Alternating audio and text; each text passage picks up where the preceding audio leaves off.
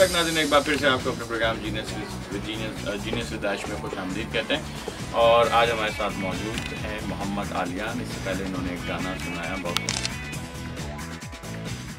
तो प्यारी मेलोडी अरिजीत सिंह के हिट सॉन्ग में से एक गाना है। और इन्होंने बहुत अच्छी तरीके से इसको गाया और क्योंकि अभी ये सीख रहे हैं और बिल्कुल इनका स्टार्ट है। तो उस पॉइंट ऑफ़ व्यू को जहन में रखते हुए माशाल्लाह बड़ा स्पार्क इनके अंदर। हम बात कर रहे थे इनकी फैमिली से मुतालिक तो फैमिली की कितनी सपोर्ट है? ठीक है। अच्छी सपोर्ट है। अच्छा कौन ज़्यादा सपोर्ट करता है मम्मा या पापा? पापा। ज़्यादा सपोर्ट करते हैं। वेरी गुड वैसे हमें सोचना चाहिए कि हमारे बच्चों का इंटरेस्ट ज़्यादा जहाँ पर हमें उसमें उस शोबे में चाहे वो स्पोर्ट्स हो गेम हो या कोई और जो गैर निसाबी सरगर्मी होती है, उसमें उनका इंटरेस्ट हो तो हमें उनको सपोर्ट करना चाहिए, ताकि उनके अंदर जो एक कुछ करने की सलाहियत, कुछ करने का जो एक शौक, जोश और जज्बा है, वो उसको पाए तकमील तक पहुँचाएँ और साथ साथ एजुकेशन भी जारी रहे, क्योंकि पढ़ाई के साथ साथ स्पोर्ट्स या दूसरी जो एक्स्ट्रा करिकुलम एक्टिविटीज़ होती हैं, वो हमारे लिए बहुत ज़रूरी होती हैं। तो अब क्या सुना रहे हो, आलिया नाम? अच्छा अरिजीत सिंह का सॉन्ग है। बड़े प्यार बड़े रोमांटिक गाने गा रहे हो तुम। अभी कोई प्यार व्यार के चक्कर में तो नहीं पड़े हुए? किसी के लिए तो नहीं ये गाने? अच्छा किसी के लिए है? यानी कोई है? हाँ। अच्छा कोई नहीं है। और किसी के लिए है और कोई नहीं भी है। चले जी सुनते हैं चले।